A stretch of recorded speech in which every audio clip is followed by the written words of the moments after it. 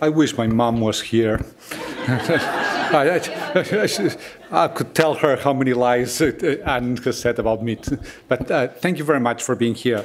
We're going to be talking about this, this new wave of treatments that are becoming available for certain cancers. They still work in a minority of patients on any cancer, but we're learning a lot about them. Uh, they've not been developed in a random way. They've been developed because we started understanding enough of how the immune system can be redirected and unleashed to attack cancer. And then we have applied those therapies to patients. And now we have to go back and see the patients who respond or not. How does that happen? And then uh, uh, how can we bring it to more patients? Um, the progress has been so much that uh, just two years ago, uh, uh, magazine Science, which is Uh, uh, where you try to publish your best, uh, your best uh, articles, looked at all of what had happened in that year. And Science publishes from astronomy, from geology, medicine, chemistry, physics, publish any kind of fields. And they said of all of the fields, the biggest breakthrough of the year was cancer immunotherapy. And that was because of these therapies that are being developed uh, that are impacting on how the immune system is regulated. And I'm going to show you a whole bunch of complicated graphs of how, how this works. The immune system is not simple but I'll try to explain it as plainly as I can. And um, here we start with the immune system cell, which is this blue cell. It's called the T cell. That's trained by the dendritic cell and then has to go around and attack the cancer. This is in the lymph gland, and this is the cancer. How many of you have seen uh, James Bond's uh, movies? Okay, most of you. So, usually they start more or less the same. Either there's a sequence about the bad guys, but usually then James Bond is in some spa in, I don't know, in Switzerland, having Dom Perignon and doing nothing. That's what usually the immune system does. It's just sitting there and the cancer is growing. The bad guy is just going around the body and uh, uh, because the James Bond of the immune system that has the specific receptor to recognize and attack it is not being told you should be on, you should start attacking the bad guys. But at some point, James Bond gets called to London, and I think it's the MI6 or something like this, I don't know. They are, they say, well, here's a picture of the bad guy, you see what, what they're doing, and here's your little gadget, uh, you can use this whenever you see, and you just shoot it. It's the same that the immune system does. This, is, this would be the general to the immune system, this is the fighter, and it requires two signals, but the second signal is usually in the off position because it's taken away, so you do not have too much collateral damage. If you turn on the immune system, would be like unleashing a whole bunch of James Bonds. They'll go around and cars fly around and, and, and people get killed. But if you want to turn it on, then you take away the negative signal, which we call it a, an immune brake or checkpoint. And now this cell has been given the signals to go around the body and recognize the cancer and attack the cancer. And this, this is one of the therapies that we are developing. It's called ipilimumab uh, or Yervoy, uh, the first one of these immunotherapies that has been developed. And we've worked on it for several years. It actually was a very long drug development. We used two of them, ipilimumab and tremelimumab. And we started uh, testing them with, uh, with John Glaspy in 2001. It took 10 years to get approved because the benefit is in very few patients, around 10%. And that's just in melanoma and didn't work in any other cancer. But the fact that it worked was the most important one. Here's one of my patients, a physician uh, from New Zealand, uh, Dr. Ed Watson. He was 39. He was my same age 10 years ago. And uh, he had two little kids. I had one kid the same age. He had metastasis to the liver, adrenal glands, to the, to the bone. He had progressed on prior therapies. He was told there's nothing to be done. But he took a plane and came over here and started getting one of these antibodies. And here it is just in November. We, we um, hike up a, a volcano in Auckland in New Zealand. And now he's, at, uh, these days, I think, he's, he's taking one of his daughters to, uh, to college and helping her get a, get a room. It was all done by the immune system. He had a melanoma that was untreatable at the time, but we unleashed the, uh, the cells that would attack the tumor. But it only worked in around 10% of the, pa uh, the patients because even though all of this could work, whenever the immune system cell uh, tried to attack the tumor, the tumor found a way to protect itself through a mechanism that we'll talk more that's called the PD-L1 to PD-1 interaction. And that is that this cell tries to attack this one, and this one protects itself and turns off the immune system. So obviously, I'm telling you this because we know what to do about it. Now we're developing antibodies that block either here or here, and now we get this cell to attack this one. Um, whenever this uh, antibody was first approved, uh, UCLA Graphics Design made this, uh, this graphic uh, where we have the immune system cell that's trying to attack the tumor. Everything was working well, but then the tumor protects itself through the expression of this PD-L1, which is like a shield that doesn't allow the immune system to attack. And then the drug, which is uh, an antibody, can break this shield, and then this cell now will start attacking, and this cell, the tumor, cannot protect itself anymore. Whenever we get this to work, is spectacular because it's very specific for immune cells that attack the tumor and do not attack anything else. These are CAT scans, and I understand that they're difficult to see, uh, difficult to follow. This is a baseline in uh, 2000, April 2012. This is a year later. The black part, this is a cut through uh, right over the heart. The black part is the lungs. All of this is melanoma. So he had part of this uh, uh, of the left lung involved with melanoma and then pleural effusion or liquid. You can see how it responded here. This is the liver. The normal liver is the the, the light gray. All of this darker gray is melanoma. He had more melanoma in the liver than normal liver. He had progressed on three lines of therapy, biochemotherapy, high-dose IL-2, ipilimumab. None of these had worked for him. But we take this break to the immune system and we go from here to here. But now I'm going to show you the patient because it's even more striking than these scans. This is Tom. He sent me this, uh, this picture in an email, said, uh, hi, Tony, you have uh, uh my permission to use these pictures in a slideshow. Uh, so I'm using it with the, all of the HIPAA compliance because he sent it to me. He had fallen and bumped his head. I didn't even want to know about it because if I look into his brain and he had brain metastases, he would be excluded and he would not have been in the study. I didn't need to do a scan. His melanoma the one that I showed you before was eating through his muscles. He was losing weight because the melanoma needs to eat a lot and was eating from him. But we blocked this immune system uh, marker, and here we have him, I don't know, a year or two years later, doing a pamphlet, taking pictures with me in the botanical garden. He walks more than I do, he plays tennis every day. He's better fit than I am we went from here to here because we, this patient had an immune system was ready to attack the tumor but was being held back by this PD-1. And I'm telling you all of this because this is the kind of thing that we need to learn who we're benefiting and why, and then figure out why in some other patients doesn't work, or, or talking with, a, uh, with, a, uh, uh, with one of the attendees and say, does this work in, in pancreatic cancer? Well, unfortunately, it does not, but it, there's no reason why it shouldn't work. It's just that we haven't found what uh, is limiting the immune system in that situation. And this is not an anecdote anymore. This is a group of, I think, 611 patients.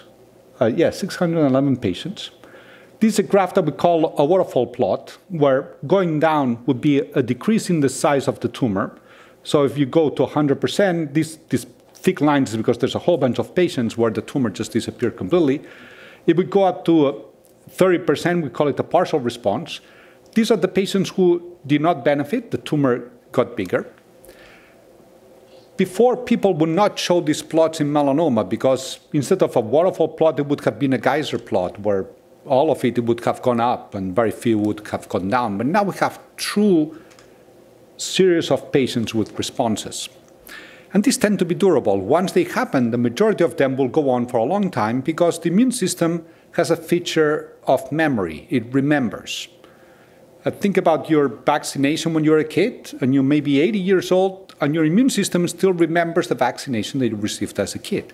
Well, if we get that to attack the tumor, then we'll get long lasting responses to anywhere in the body that there would be melanoma or, or another cancer. And I'm sorry I keep going back to melanoma because that's a work on. Uh, we can talk on the, on the, uh, on the question and answer uh, for other cancers afterwards. Usually when we talk about treatments, we have to be honest and talk about what are the drawbacks, what are the side effects. Well, in this one, there's not that many side effects. This is a busy slide of toxicities any grade toxic, toxicities here, and then what we call grade three to four, or the clinically significant toxicities, where patients, uh, you have to do something about it, where, uh, where the patients may, uh, may need to be treated for something. The overall grade three to four toxicity is 12%. This compares favorably to any other uh, uh, treatment that I have used in my last 20 years of, of doing oncology. The more common uh, toxicities are fatigue, uh, itching, and rash. And most of them are not the, the serious one. And the only one that's, uh, that's more frequent is the, is, the, uh, is the fatigue. These are the toxicities that happen in more than 5% of the patients. It does not make into, into this slide the toxicities that happen in less than 5% of the patients. And what happens in occasionally patients, whenever we unleash the immune system, it attacks normal organs, uh, uh, what we call autoimmunity. It was much more common with the other agent I talked before, the ipilimumab, the CTLA-4 blocking antibody, the one that had the lower response rate. This one has higher response rate with less side effects. But still, we have to be vigilant about any inflammatory process that may happen anywhere in the body. One of the interesting toxicities is lo uh, loss of pigmentation of the skin which happens in patients with melanoma, but not, does not happen in patients who receive the same treatment who have lung cancer or bladder cancer or any other cancer. That's because the melanoma is a pigmented tumor. So what happens is that the immune system cells that attack the melanoma also make it into attack the melanocytes or the normal pigmented cells in the skin. And you can see this patient lost the pigment here, this uh, Asian patient lost the pigment here and in the nose, this patient lost the pigment here. I'll show you one that I like because it's a little bit funny. This is a patient who had a birthmark in his face. He's older, he didn't care now, but thought, well, when I was a kid, I wish I didn't have a birthmark right in my face. Well, we got his immune system to attack melanoma, and the birthmark, which is a pigmented lesion, disappeared. And it's really amazing because from here to here, there was no inflammation, nothing happened. He would just come and say, Oh, I think this is lightening up. And those cells, slowly, they just keep going there, going in and out and attacking the same way that they're attacking the, the melanoma, they are the, attacking the cancer, they are attacking the pigmented cells. Ralph Stewart Scannell. I ran the test program on the B 2 bomber out here for a number of years. And then when we finished building them, uh, they asked me to go to Oklahoma to run our product support program. Lungs was how it, it popped up. I thought I had a bad cold. They came back with a, a rather grim prognosis. Late stage melanoma, 28 metastases throughout the body. All the important uh, organs were involved, so they told me I had months to live, and that wasn't something that I wanted to hear. That was a devastating time. I, I didn't want to lose my optimism, but it was hard keeping my optimism until I found, you know, found this offering. They uh, started the immunotherapy and immediately saw positive results. Many of the metastases have shrunken significantly in size, some have disappeared, and the remainder are what I like to hear they're stable. All of this was with no side effects. That was to me, wow. wow. You know, the funny thing is, nothing in my life because of this treatment has really had to change significantly. I haven't had to make any accommodations. We have to know why this happened to him and why we can get this therapy to work in this patient on other patients. I show you those graphs that we can have a significant number of patients with this cancer, with the, this pigmented cancer called melanoma, but it doesn't work in many others.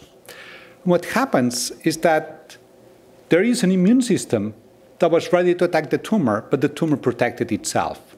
We go back to the cartoons from the beginning because by taking biopsies in patients, when we start the therapy and when the patient either, is either responding or not, and comparing what happened, a look at what happens to a patient who goes on to respond long term and the patient who doesn't respond at all. With them, we can start learning what are the biological basis of having these type of responses.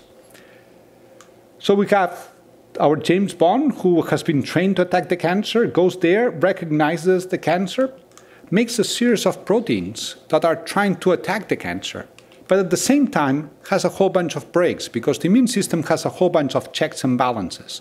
It's trying to avoid being overactive because otherwise we would be plagued by autoimmune diseases or the immune system attacking our normal organs. Examples of that would be multiple sclerosis or uh, rheumatoid arthritis or type 1 diabetes. Well, this cell has to have a lot of brakes. But what happens is that the tumor has figured out that with, whenever there's interference around a certain immunostimulating protein, it can sense them and then express the shield that I showed before and tells the immune system, don't kill me. I'm, since you're here, I'm going to protect myself. So if we see this, and we, uh, here's a tumor, here we have the immune system cells, and here we have this uh, reactive process that shields the immune system from attacking the tumor. And whenever we see this image in a biopsy, those are the patients that we give the anti, these antibodies, and then the immune system goes inside the tumor and starts killing it. It's really remarkable how we can see these immune system cells colonizing all of the tumor and going from one cancer cell to another one to attack the tumor. So by looking at these biopsies long enough and getting enough of them, then we can start seeing that uh, there's a certain pattern. CD8 means that this T cell, and the brown staining means that it's positive for the presence of these cells. PD1 is this part here, the receptor that turns off the CD8 cell. PDL1 is what protects the tumor. Whenever we see a T cell with PD1 and PDL1, those are the patients that tend to respond. And whenever we don't see T cells, we don't see that they express PD1. It doesn't matter if they express PDL1 or the ligand, this patient will not respond.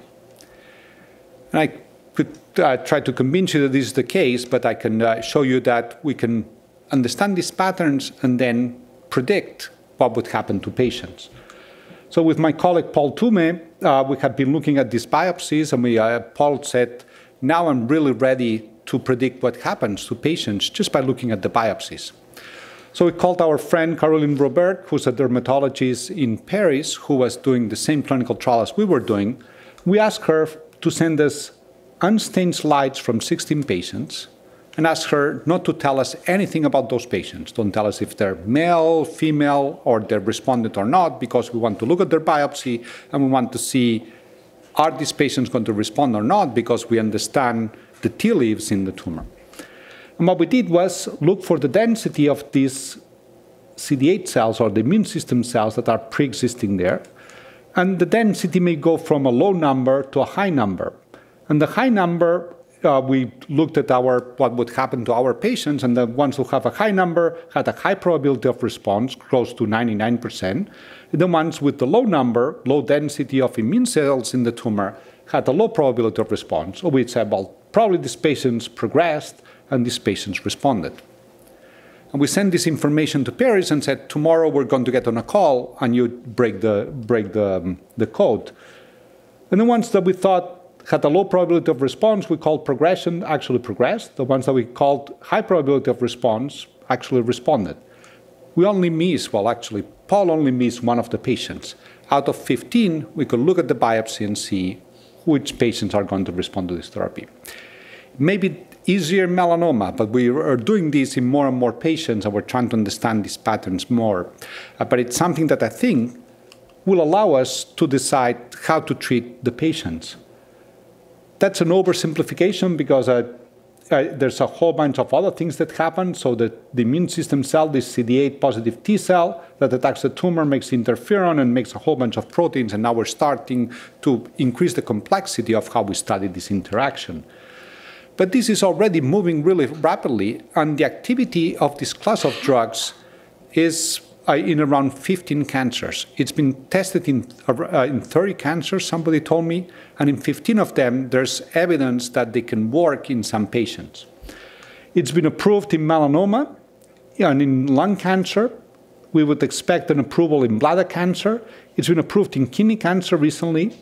Some cancers like Hodgkin's disease and Merkel cell carcinoma, a very aggressive form of skin cancer, there's high response rate, 70 to 80 percent. It is really remarkable that we're getting this one class of drugs to unleash the immune system in so many patients. Not enough, I would argue, but still enough that we can understand what's happening. And there's two of them approved, this pembrolizumab and nivolumab, and actually they work more or less the same. So it's, a, it's great that there's this competition, and I think there's up, up to nine of them being developed by different companies. Every single pharmaceutical company has one of these being developed. What I think we're going to be doing in the near future is we're going to take a patient with a metastatic cancer and we're going to look at the biopsy and we no longer will care is it melanoma or lung cancer or kidney cancer. We'll care is there an immune system activated there? And if we see this image, then we'll just unleash those cells with, by taking away this brake, the PD-1 brake. And if there's no immune system cells in there, then our job is going to be how can we turn this tumor into, uh, to look like this one? And we'll have to either bring the immune system cells inside the tumor, and there's a series of ways to do that. Um, there's already been approval of the combination of the two classes of antibodies I talked about, the ipilimumab and the, and the anti-PD-1, and that's been a new approval just two months ago for patients with melanoma. But we're doing clinical trials with a whole bunch of other combination therapies that are trying to overcome this lack of immune system cells in the tumor. In the last few minutes, I'm going to talk about two things that are more on the research side, but the things that I'm excited about because it tells me that we can continue to do better by understanding these, the roles of this engagement between the immune system and the cancer. We're starting to combine these therapies with standard of care targeted therapies or the therapies that are used for many cancers where you, we know there's a gene that's mutated and we try to block it, usually with pill therapies. And also, we're doing studies where in patients who do not have an immune system that's ready to attack the cancer, it doesn't have the right receptors, we can genetically engineer those cells and redirect them to the tumor. And I'll show you how, we do that. So we'll first start with a combination with targeted therapies. And this is work by uh, two members of my lab, Siwen and Blanca, who are two postdocs. Actually, Siwen is now a faculty member at UCLA.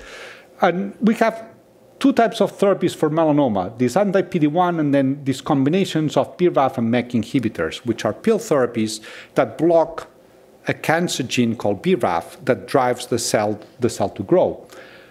And this is a mouse model where if we don't do anything, the tumors grow very rapidly. Within two weeks, uh, we have to sacrifice the mice because the tumors are too big. If we give the PD-1 alone, it doesn't do anything. So this is a mouse model that's like the patients who do not respond to this therapy. If would give the BRAF or the MEK inhibitor some activity, but if we start combining two of them or three of them, like here, we have the PD-1, the BRAF, and the MEK inhibitor, is called the dabrafenib and trametinib, the drugs, then we can shift the curves. So I think this is something that we have to be testing, and we're testing in patients. Um, we published this uh, uh, last year, and uh, after we published, I got an email from Dr. Francis Collins, who is a Nobel laureate and the director of the National Cancer Institute. And he said, uh, he sent me an email saying, Tony, I read your paper. We really like it. And we like this idea of punching melanoma or cancer from different ways, from the immune system and the targeted therapy or the specific therapies. And then we can start mixing and matching things and adapting to the patients. That's why we have these three punching bags into the tumor. The other thing that I want to talk to you about is if the immune system doesn't have it in itself to attack the cancer, it may be because there's not the right receptors in that immune system to recognize and attack the cancer. All of what I'm talking about requires that there's immune cells that have a specific receptors that recognize the cancer and not recognize the normal tissues. Um, actually, 10 years ago, um, we were called by another Nobel laureate, uh, David Baltimore, who was at that time the president of Caltech, and now he's president emeritus, but he has uh, a lab. He's probably the most famous biologist in the last 30 years. Uh, and uh, he called us and said, well, we're doing some research in mice that where we're genetically engineering the immune system, and we'd like to do that in humans. And he called his former trainee, Owen Witte, who's one of the stars of our campus. He's a, a, a well-known researcher. And a series of others like Jim Economou, who's my mentor, and Jim was the vice chancellor uh, at UCLA until recently. And it said, uh, you guys do clinical trials in patients, so why don't you do this in patients? And if you can see here, that's me with a, without a graying beard, to look all young. Uh, but uh, we wanted to take this idea into patients, so we kept growing, and I keep uh, you'll look, you'll see me how I keep getting older and older, trying to work off these. These guys look exactly the same. They look as well here and here. But what we wanted to do was to genetically engineer the immune system. Oh, and still have a new pic. Uh, that this was in Arrowhead just two months ago. What we want to do is to take the patient's immune system take it to a place in campus, which is what we call a good manufacturing practices facility, where we can genetically modify immune cells and give them receptors to attack the cancer and give them back. And this is uh, uh, pictures of where we do this, which is uh, at the top of the factor building. And I'm going to show you how we can get these cells to attack the cancer. So here we have again the same interaction. The immune system cell which is labeled in green, and I'm putting it green here because we labeled them in green, and you'll see this culture in a moment. And the cancer cell, which we labeled in red, and the cancer cell is on the bottom of the flask. This is a, a tissue culture flask. And we can genetically engineer this cell to give it receptors to recognize this one. And then if we give it, we force it to recognize it, that it should attack it. And we put, we had the cancer cells in red on the bottom of the flask, and then we put the genetically modified immune system cells on, uh, on top of them. And then we put this flask in the incubator and we'll let it go for six hours, but I'm going to show you uh, in 23 seconds. And what you'll see is that the immune system cells, these guys, the good guys, are rounding up the bad guys, the cancer cells. And they go from one to the other to the other and says, if you are a live cancer cell, I'm going to attack you. It's just amazing. What we did is just give it the receptor to recognize the cancer. Now you can see that uh, from the beginning it was all spread out, and now we had them all clumped because it's just they keep the red dye, but they, they're all dead. But this thing that I showed you in, the, in a test tube, we can do it in humans. The same way that we made it for that little experiment, we can make a billion of these cells, we put them in a bag, and then we give them to patients. We took their immune system cells out, we genetically modified them, we give them back. And the way we do this, we have to do a series of things. This is not easy. It's three quarters of a bone marrow transplant because we have to wipe out the immune system and then give this genetically modified one, uh, one back. But this is therapeutic uh, we, we, do very few patients like this because it takes a lot of effort and it's toxic, much more than the other ones. So these patients can, can be in the hospital for three or four weeks. But here's a patient at baseline. This is a, what we call a PET CT. So everything that's really very glowing white is melanoma in a PET scan. And here you can see just 35 days after we gave these billion cells, this mass that was in the heart, in the heart muscles, uh, the kind of melanoma I thought we would never be able to treat, we can get the immune system to attack it because we gave it the right receptors. This is an, uh, an adrenal gland uh, mass and then a kidney mass, and then we can also get them to respond. So, what I wanted to convey to you uh, is probably you can sense my enthusiasm for this I know it's not good enough, and I know I'm talking to, to patients and caregivers, and you may think, why are you talking about all of these and telling us all of these good things? Maybe that uh, my doctor has said this is not for me. But we're making a lot of progress. We're learning what are the rules, we're developing the right treatments, we're going back from the clinic to the lab and being able to model things so we can bring a new approach. And I think with this, this going back and forth, we're getting this therapy to be uh, applicable to more patients. Um, what I talked about is the work of many people and it requires a lot of funding. So these are our NIH funds. There's an organization called Stand Up to Cancer that supports ours. We're doing stem cell research with, uh, with uh, one of these projects I haven't talked to you about with, with the California Stem Cell uh, Initiative. Uh, but mostly it's the people who work on these. These are the members of my lab, so I give them two big thumbs up. They're allowed me to then take their, their data and show it to you.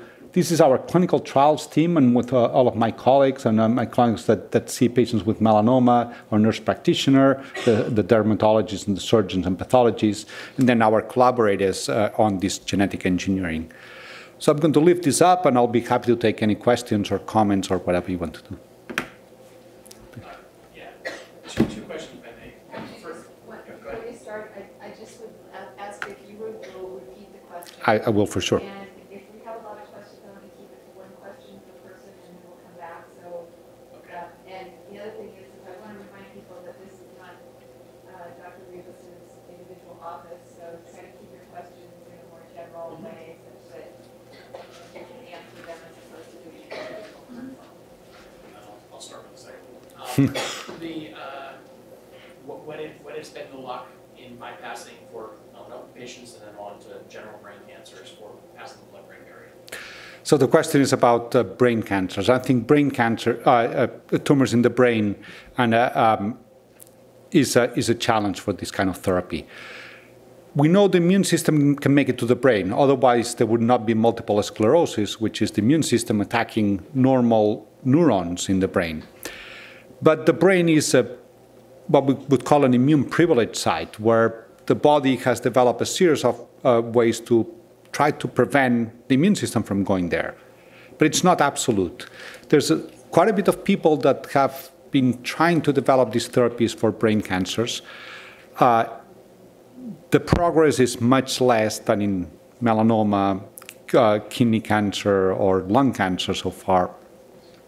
That doesn't mean that it's not going to work. We just will need to do more things and we'll need to develop more things. If we're not there at all for brain cancers. And I, uh, here there's a, an active group with Linda Liau doing, doing research in this field, uh, but the benefits are not to the level that I can show for melanoma. If a patient fails to respond to a PD-1L therapy, uh, is it possible they could respond to a a PD-1 therapy? So the question is, uh, we talked about blocking PD-L1, which is the ligand, or PD-1, which is the receptor. And there's uh, the two that are first approved are PD-1 antibodies, but the PD-L1 antibodies work exactly the same. They are altering the same interaction. I don't think it makes much sense to me to go from one to the other. I, it's most likely that that immune system is not limited with this, and you don't need to continue blocking it. Uh, if you have a good antibody that does it, then it shouldn't. Uh, it, it, you shouldn't need the other ones. But um, um, each antibody is different, so it may be the property of the antibody as opposed to the approach. So, so it, I, I'm not. I don't want to be absolute on this. It, it, it wouldn't be my first choice. Supposing for lung cancer, one of UCLA's immunocompetent drugs, Tarceva, begins to slow down in its positive effects after one year, do you recommend some of these new uh, drugs that you're working on to take over for Tarceva? So the question is about a drug for a subset of lung cancers called, uh, called Tarceva that it's targeted to a mutation. So it's what we call these targeted drugs. It's usually a pill that blocks something called EGF uh, receptor. Um, it is uh, so if that stops working, then going into an immunotherapy, a completely different approach, would make sense. There's something about um, the, the lung cancers that have mutations on EGFR, where Tarceva works best, which is they tend to have less mutations. And this is something I didn't talk about, so let me say uh, talk about it now. We're seeing that these drugs are working the best in cancers that have a lot of genetic alterations that we call mutations. Because the immune system has to recognize the cancer different from the normal tissues. And the more mutations there are, the more likely it is that the immune system has receptors to recognize them. Melanoma is usually sun damage induced cancer uh, from ultraviolet light, which is mutagenic. Lung cancer, many cases, is from cigarette smoking. Uh, the EGFR mutant lung cancer is less likely to be from smoking, so that may have less mutations, and it may be that the mutational load would differentiate patients who respond or not. Bladder cancer can be related to, uh, uh, to mutations. Tumors that have viruses, viral antigens like liver cancer, like uh, cervical cancer, like some head and necks are also responding. So we're starting to see a pattern that the, the tumor has to be different from normal, and that's where we can get the immune system to attack. Have you applied this research to ocular melanoma since it's very definitely linked to uh, um? Yes, we have, and uh, ocular melanoma is one of our um, tough diseases because it's a, whenever it becomes metastatic, um, it behaves quite different from the skin melanoma. Usually it does not have the signature of mutations of skin melanoma.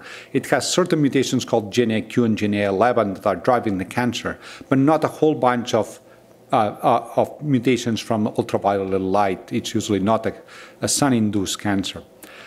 We're testing this, but we have to. Uh, when we tested single agents, it didn't work. Now we're doing combinations to try to overcome the limitations we've found so far it's still it's at the limit of our current knowledge. Any studies done on lymphoma? My niece has had Bexxar, Rituxan, and they're, they're not going to be able to give her anymore. It's non-Hodgkin's. Yeah.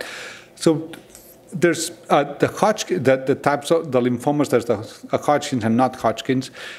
For some reason, Hodgkin's responds very well and it actually Hodgkin's lymphoma it has very few cancer cells called Reed-Sternberg cells and a whole bunch of lymphocytes around. They were just sitting there doing nothing, so we just need to unleash them. Non-Hodgkin's lymphoma has a different thing. It doesn't have that immune infiltrate as much as Hodgkin's lymphoma. But these agents are being developed and tested in Hodgkin's lymphoma.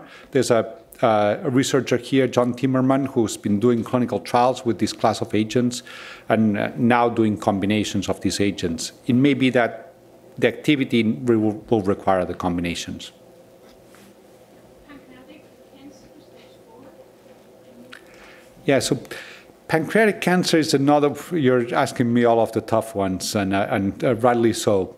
Uh, pancreatic cancer, um, tends to exclude the immune system for reasons that we don't know. If you look at the pancreatic cancer, try to see for immune cells, they're usually not in there. So it would be like the ones that I showed before that had no immune system cells, so we have to bring them in. So now the, the studies that are being done is combination of these immunotherapies to try to bring the immune system inside the pancreatic cancer. We're still not there with pancreatic cancer. This is, I, I, I know of a couple of patients who responded. Uh, because of presentations in meetings, but those are mostly anecdotal. It's not to the level of other cancers. Do you know of any work being done um, using therapies for endometrial cancer or ovarian cancer? Yet, um, actually, the first approval of this class of drugs was in Japan for ovarian cancer.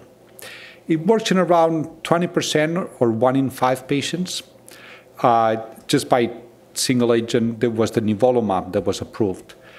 Um, it's possible that it should work with more, and we'll have to learn more about this. So that's the, the continuous theme is we'll learn from the where it works, and then we try to see what's missing and where it doesn't work. And I think ovarian will be the case that will make progress. Yes, so at uh, UCLA, Gottfried Konecny and, and, uh, and John Glaspy are doing clinical trials with these agents. Uh, that um, City of, uh, um, I'm sorry, um, Cedars-Sinai has a very strong group uh, uh, in ovarian cancer, and um, and I assume they'll they'll do clinical trials there. This class of agents are being tested in clinical trials in the majority of cancers. I understand that uh, immunotherapy has been used for years with uh, certain bladder cancers and has been very effective. Can you elaborate a little bit more on that? Is this different you were showing than BCG treatments, et cetera? Yes, yeah, so, the question is about bladder cancer, and uh, where immunotherapy, it's been one of the few cancers that immunotherapy has been used for years. Um, uh, BCG is a is a modified tuberculosis vaccine that can be injected into bladder cancers when they're growing in, inside the bladder, not when they're metastatic, and it can give an immune response, and then uh, those bladder cancers can respond, uh, can, can regress. But whenever bladder cancer has escaped from the bladder, um, then BCG could not work. But uh, one of these agents, which is a PD-L1 antibody from, uh, it's called atezolizumab. It's from one of the companies that's developing. It's still not approved, but they, it, the response rates are between 30 and 35 percent. So there's significant activity in a subset of bladder cancers with this class of agents. I'll, I'll go to the other side. Yeah, I'm sorry. My daughter has primary brain cancer, and her doctor said that it, they do not have any treatment for primary brain cancer. Yeah, and, When there is a clinical trial for primary brain cancer. and I, yeah, I tried to answer the same question before. In primary brain cancer, um, the the ability of the immune system to attack it is harder because our body has been developed so we don't get immune response that many immune responses in the brain. Uh, there are some clinical trials um, where not that's one of the toughest uh, ones to treat with these kind of, of drugs. You've been talking about the immune cells. What I want to know is, in tumors, how, what are you noticing with the um, tumor, the cancer stem cells? So the question is about cancer stem cells. So the idea is that whenever you have a tumor growing, a cancer growing, there's a subset of cells that are the stem cells that are feeding the tumor, and uh, those are the ones that are very hard to eradicate. They're well described in some leukemias, uh, but in other in some cancers, it's hard to find stem, the, the true stem cells that are uh, maintaining the cancer. Many times it's because the, um, the cancer can go from a stem cell like property, or some cancer cells can go from stem cell like property to a differentiated property. These therapies should work in both if they have the right antigens. And we're getting durable responses despite the presence of cancer stem cells that tells us that we can eradicate all of them in some patients, in a, in a minority, but in some patients. I guess that's the similar answer to blood cancers, especially like multiple myeloma and so on, where there's also the involvement of the immune system, like white blood cells. Um, yes. Um, so um, I don't know of the data on multiple myeloma, so I, am not the right one to ask, and uh, it's a little bit far away from what I do. Um, what we're seeing progress in some of the blood cancers is on what the, on the genetic modification of the immune system cells to redirect them to the cancer. There's an approach called CAR or chimeric antigen receptor, where you put an artificial receptor on the immune system cells, similar to what I showed you for melanoma. And that's something that's being developed. And somebody was asking about non Hodgkin's lymphoma. Well, that's uh, the, the new approach uh, uh, to redirect the immune system by genetic engineering. Uh, here at UCLA, uh, one of these clinical trials is going to be starting in the next couple of weeks. Uh, and there's several companies that, so the, these gene modified cell therapies used to be mom and pop operation like the one I showed you that we that we carry. Well, now big companies like Novartis and startup companies like Kite Pharma or Juno are starting to do these kind of clinical trials because it actually works. The one cancer we haven't talked about, it wasn't on your list earlier, breast. Okay, so can you kind of talk a little bit about that, please? Yeah. Um, there's been reports that in triple negative breast cancer, which is uh, the breast cancer that doesn't respond to Herceptin or, or, to hormones, there's a subset that have a very high mutational load, and those tend to respond. There's been some activity of, of these agents, and uh, Dr. Sarah Hurvitz uh, here at UCLA has opened clinical trials uh, with these agents in, in this triple negative breast cancer. In the garden variety breast cancer, it doesn't seem to be working that well. Uh, so we'll have to see what are, again, what are the limitations and why doesn't it work. Prostate cancer is another one. So breast cancer and prostate cancer, the cancer uh, is not that different from the normal organ. Prostate cancer tends to be a cancer that's uh, where the prost, the normal, if you look at the normal prostate and the cancer, they kind of have similar glandular structures and the cells don't look that different. So the immune system has trouble differentiating what's normal and what's not. And that's why these therapies, whenever it has, the immune system cannot differentiate normal from abnormal, I, it doesn't work that well. That's why I was saying the ones, the tumors with the more mutations uh, tend to be the ones that respond the most. Oh, you, you foresee a, a biomarker test in patient for CTLA-4? Well, we tried to, we, we've done over 10 years, uh, probably 15 years now of clinical trials in CTLA-4. It works in a minority of patients. Um, when it, Oh, I'm sorry. The, the question, yeah, sorry, getting carry over here. Uh, so the question is, uh, uh, is there, a, uh, do we foresee to have a biomarker for CTLA-4, which is the first approach that I showed, that patient from New Zealand that did well long term? Can we sep- can we find that patient and give it give this treatment, where the treatment only works in around 10%? And uh, the answer is that we've had trouble doing that because CTLA-4 is, works very far away from the tumor, as opposed to PD-1, where the immune system cell that's turned off by PD-1 and PD-L1 is very close to the tumor. So it's, uh, if 100 things need to happen for CTLA-4 to work, but only one or two things need to happen for PD-1, it's easier to study PD-1. And also the response rates are higher, so then we can study more patients. If you're basically a melanoma patient and you get the immunotherapy. Um, is it known at all whether that might stave off other cancers, or are the other cancers just as aggressive if you get them? So the question is, uh, if you are a patient with melanoma, this ward and the patient is doing well long term, does this protect from other cancers? And difficult question. The answer, well, we don't we don't know. Uh, so we now have a new problem in melanoma, which is uh, I see patients that um, are now going on for years with these responses, and I tell them, are they cured or not? Uh, do we continue these therapies or not? Um, the ipilimumab, we give it four times and we stop, but the PD-1, we are now giving it for three, four years and we continue giving it. We don't know uh, if it's needed or not. But then patients can have other diseases and can have other cancers. I know it doesn't protect from all cancers because I've seen now that we accumulate enough patients, we start have, start to see a, an isolated lung cancer or kidney cancer that we pick up by doing scans to follow melanoma.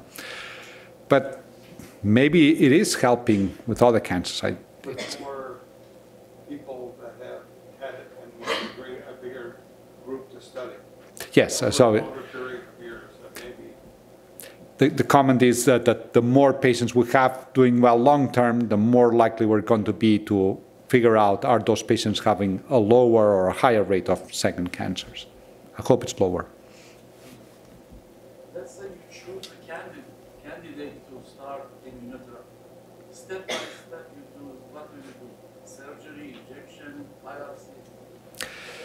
So. Uh, these therapies are now, uh, the question is how do you select a candidate for, this, for these immunotherapies? And so these therapies are now uh, first being tested in, and, and, approved in patients who have metastatic cancer, so a cancer that has started in one place and gone around the body and made seedings. Um, obviously, that it's a, uh, whenever there's activity, then we do clinical trials, and if we convince the FDA that that is significant, then that gets approved. And that's what has happened with melanoma, with lung cancer, and kidney cancer.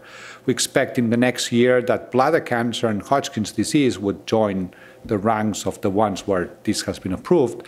And if somebody has one of those diagnoses, then you would consider these among one of the options. Um, our research that I've shown you suggests that we have to look more into biopsies and see are, is there an immune system there in the tumor? And those are the patients who are more likely to respond to these therapies if that immune system is being blocked by this PD1 or PD-L1. Uh, but it's still not a, a, standard of care assay, so I, I cannot just recommend it. We're, we're doing research to try to understand why some patients respond or not. Uh, there's um, in melanoma now we're starting to use this to prevent cancer from coming back in patients who had a melanoma that had grown to a certain size but could be taken out and had, the patient has a high risk for melanoma to come back, and then we can give these therapies in a clinical trial. But we have to compare it to the standard of care. So half of the patients receive the new treatment, and the other half receive the old treatment. We'll have to wait five years to figure out what was better. Talk about the, um, the biopsy to show if the immune system is there. Does that change over time? Like if you had a brain cancer or something and had the biopsy done and then did two years of conventional treatment, is that biopsy still useful for determining that or do you need a fresh one? Yeah, so the question is, uh, I'm talking about biopsies and uh, trying to see is there an immune system there, and that could change over time, and certainly could. So it, it may be that the patient who had no immune system in the tumor gets some treatment, and then that brings the immune system into the tumor. Maybe that uh, would make more sense later to give these therapies. We still do not know that. Um, our our studies have always been with biopsies right before starting the therapy.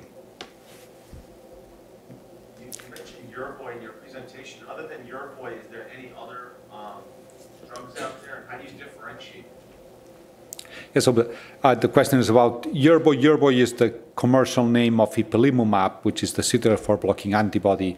Uh, the PD-1 antibodies are called. I try to avoid using commercial names just because it's a. Uh, we're what we're interested is in the mechanism. So the PD-1s, there's the pembrolizumab and nivolumab, and then there's going to be others that are going to be approved. Um, I think the more important thing, oh, uh, well, uh, the practicalities are that in certain cancers, whenever there's an approval, then you can use it. And Yervoy ipilimumab has been approved in melanoma, but not in any other cancer. Is there any other in melanoma? Yes, so, so pembrolizumab or Keytruda and nivolumab or Opdivo are the PD-1 blocking antibodies. And then now we can give the Yervoy plus the nivolumab in a, in a combination. So we're, the, the field is going quite quickly, quite, quite rapidly. So you, talk about the, uh, the biopsies and the presence of the immune system in tumor. Is there a profile of the immune system in a tumor so that you gain a fuller understanding of, is there a borderline or how well it works, its? It's, all in the realm of research, so I, we're trying to understand this because it, it, it's obvious that it's going to be important to find when we start the therapy is there an immune system ready to attack and is it already in the tumor? And then if it's not there, then how can we bring it in? Uh, but it's not a standard test, so it's not something where you can, um, you can ask your doctor, say, hi doc, how's my immune system today? Is it attacking my cancer? I hope we'll get there. I hope you'll be able to go to your doctor and ask about this, because it has to be important.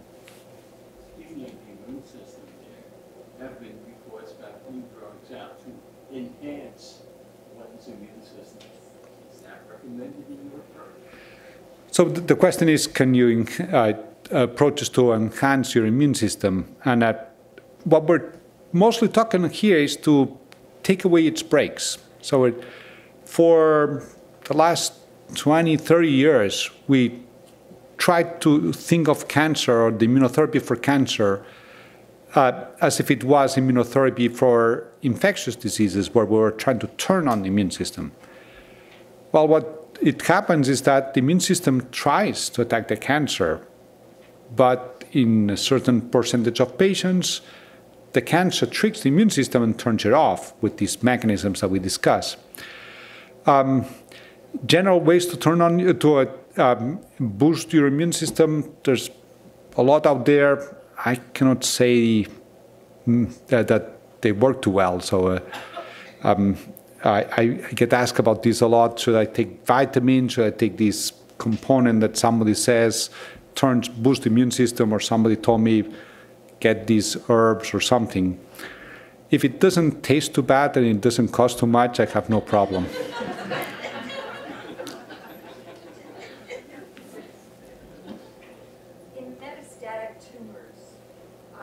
um, immune cells evenly distributed? No. they tend to be in an. Uh, so the question is, in metastatic tumors, are immune cells evenly distributed? Whenever we find them, they tend to be in an area that we call the invasive margin. It's uh, an area where the immune system is trying to attack the tumor. I try to depict that, but the tumor is protecting itself. Uh, and if we look there, then we can figure out is there an immune system that's being turned on. All of you guys are missing the uh, uh, the presidential politics and, uh, and, and, the, and, the, elections, you choose to be here. My idea of looking into the tumor is that it depends on which part of the tumor we look, we'll get a better or a worse response. If uh, you want to know who's going to be the next president of the US and you go to Texas, you'll get one answer. If you go to uh, uh, California, you'll get a very different answer. But you really want to go to, to Ohio where you kind of sense where the battle is. That's this invasive margin. That's where we can quantitate the immune system and see how much of it is there ready to attack the cancer. Well you mentioned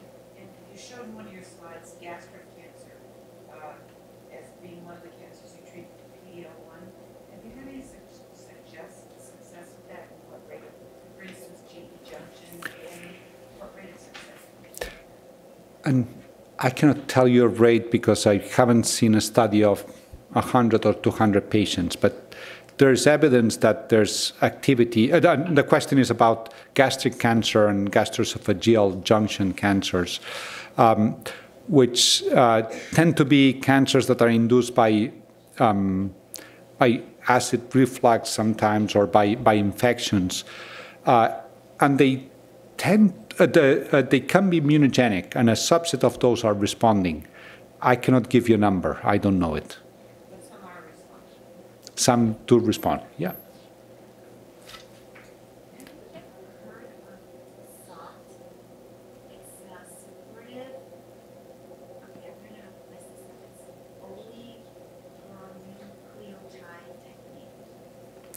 So the question is, have I ever heard about SOC or supportive oligonucleotide technique? And the answer is no. And I, I, I don't know about that. I've never heard about it.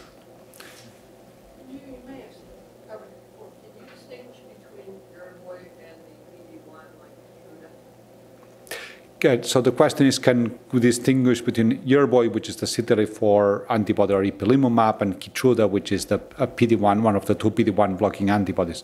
The answer is yes. So the, um, they work in a different part of the immune system. That's what I tried to depict at the beginning. They have so they have different mechanisms of action. They have different benefit, uh, but they're all the, the end result is you get an immune system attacking the cancer. You just take different brakes to it. Now we're giving them together and we're taking two brakes and then we're taking a lot more chances because then the immune system can attack normal uh, organs.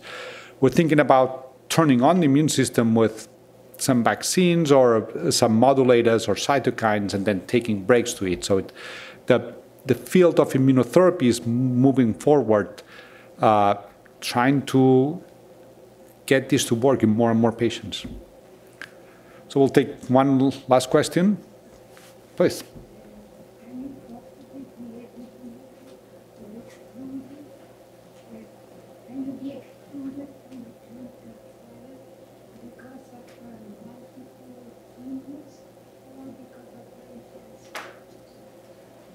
Yes.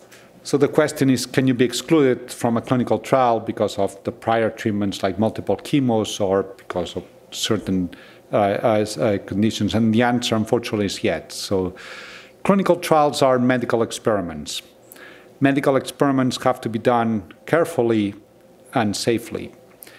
And unfortunately, that means that some patients, many patients are excluded because uh, for whatever reasons, uh, you, you start looking down and see, well, if you have a drug that could induce inflammation in the liver and somebody has already has inflammation in the liver, maybe it's not a good idea to give that drug. Maybe that may be worse. So we have to be really careful about this. The goal of all of this is to do the clinical trials so we can benefit more patients. Uh, the problem is whenever you're caught in between where you have a cancer that in some situations we know that it may work, but there's no adequate clinical trial for a particular patient. I have trouble sleeping when that happens to me.